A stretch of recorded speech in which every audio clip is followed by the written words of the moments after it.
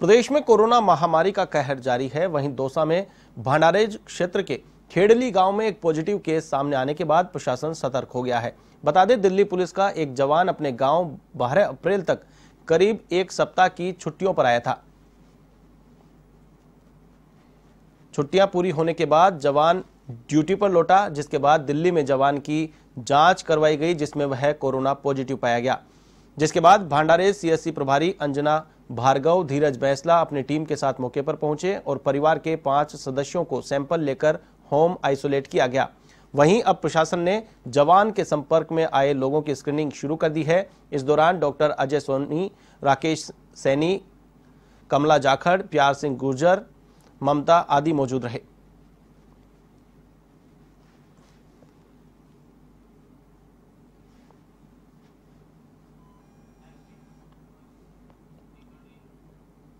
नागौर के पादुकला में corona warriors पर पथराव